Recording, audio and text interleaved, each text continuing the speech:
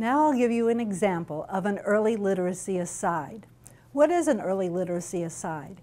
It is simply a 30 to 45 second tidbit of early literacy information that we say to parents during the course of a story time. Here's what one might look like. Our next story is Cars Galore by Peter Stein and it's illustrated by Bob Staake.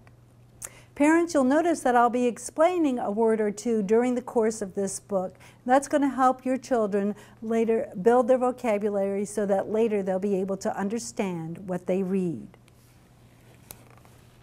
Black car, green car, nice car, mean car. Near car, right up front, and then far car, way in the back. Whoa, bizarre car! Look at all of those interesting parts of the car. Who ever heard of an umbrella on top of a car? Bizarre means something that's weird or a bit unusual. Fast car, slow car, and so forth. I would continue to read the story.